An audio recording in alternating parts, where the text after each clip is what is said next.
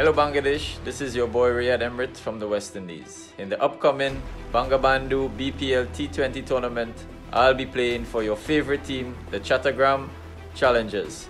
Come and be a part of it, come and support us. See you guys there, don't miss it.